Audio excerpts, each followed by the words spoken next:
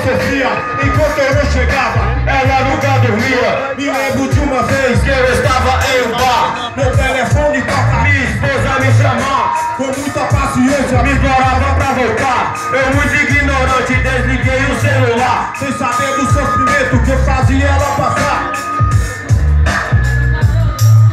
De tanto insistir, acabei me retirando. Naquele momento, Deus estava me livrando amigos, meus parceiros se envolviam em confusão.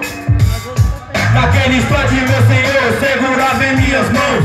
Quando Deus escolhe meu irmão, vou te falar Não aventou tempestade que eu não possa suportar. Eu mano suei de Beck pro SDR Todos no mesmo carro, meia noite na BR Numa velocidade que eu me lembro até agora Mais de 150 km por hora. Como se fosse mágico, o capuz se leva